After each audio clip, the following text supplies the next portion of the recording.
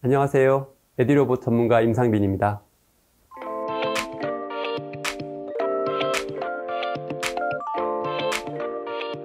어떤 혁신적인 로봇을 저희 개발해서 그런 로봇 플랫폼을 새로 개발하고 있는 어, 연구 중심의 회사입니다. 제가 주로 하는 업무는 어, 실제 로봇을 기획도 하고 개발도 하고 그리고 영업 관련해서 많은 미팅과 그 해외 바이어들 상담도 직접 그 참여하기도 합니다.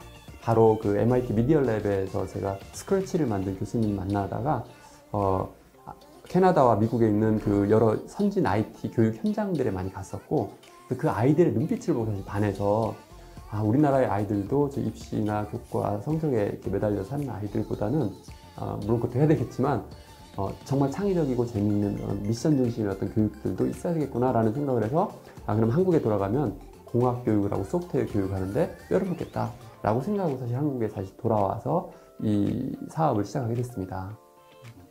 어, 이건 둘 다 만족을 느끼는 것 같은데요. 로봇공학교로서 저는 로봇에 대한 이런 깊이 있는 고민들을 하니까 연구하는 그, 그 기쁨도 크고, 그다음에 또 하나는 아이들을 또 상대를 하니까 아이들이 그 이 교구를 보고 또는 이 교육을 통해서 만족하는 그 얼굴들을 보면서 미래 세대를와 함께하는 미래 세대와 함께하는 어떤 그 사업에 우리가 일부분 하고 있구나라는 보람이 있습니다. 어, 어려운 점은 교육적인 면, 예를 들어서 이제 컨텐츠의 그 난이도가 너무 높아요. 너무 낮아요. 또는 하다 보니 바로 질려요. 또 뭐 이런 것들에 다 대응을 해야 되니까 그래서 교육 자체가 사실 제품에 대한 그런 이슈보다 교육에 대한 이슈가 항상 더 많이 이 교육 쪽 에듀테크 상품에는 더 중요한 어, 거 대응해야 될 게 많은 것 같습니다.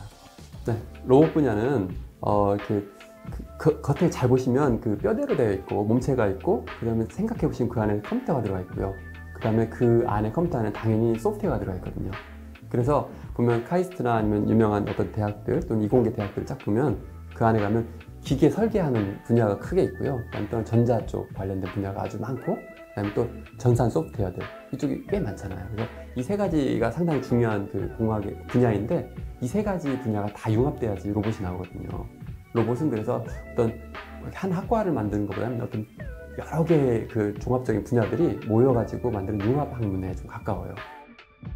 네, 로봇 분야는 아무래도 그 소프트웨어 말씀드린 것처럼 기계적인 면 그리고 그 어, 전자적인 면 다 이 세 가지 분야가 융합된 학문인데 어, 이 학문에 대한 어떤 지식적인 접근도 중요하지만 사실 더 중요한 건 문제 해결력인 것 같습니다. 도대체 이 로봇을 가지고 어떻게 생활에 당면한 문제나 인류가 당면한 문제나 아니면 그 사회 적인 거, 산업적인 것에서 당면한 문제들을 푸는 거 이것에 대한 어떤 어, 실질적인 문제 해결 능력을 계속 고민해 보는 게 더 중요한 것 같습니다. 지금 전 세계적인 어떤 시장의 흐름을 보면 어, 소프트웨어 쪽에는 AI가 강세를 가지고 있고 또 하나는 산업 구조에서 봤을 때도 그 소프트웨어나 공학 기술 관련된 그런 분야가 갈수록 더 늘어나는 건 사실입니다. 그러다 보니 당연히 소프트웨어에 대한 거 이런 그 또 로봇에 대한 기술이 당연히 필요하고 그쪽 분야가 계속해서 넓어질 것입니다.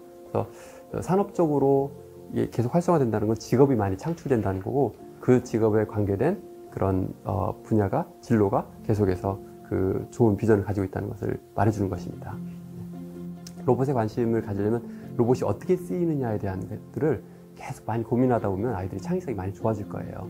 그래서 아이들한테 질문하는 힘들을 계속 그 어, 기를 수 있도록 부모님들께 유도하시되 어, 이제 그 로봇들이 사용되는 그 여러 가지들을 보면서 아이들이 그러면 나라면 어떻게 그 로봇을 사용할까? 또는 저 로봇을 어디에 쓸 수 있을까? 계속 어떤 창의적인 생각할 수 있도록 그렇게 유도해 주셨으면 하는 게 어, 바람입니다. 그 해외에도 그 이런 로봇 관련 동영상이 정말 많으니까 여러분들이 그 자녀분이 좋아하는 스타일들 찾으셔서 또는 같이 찾으셔서 그 함께 봐주셨으면 좋겠습니다.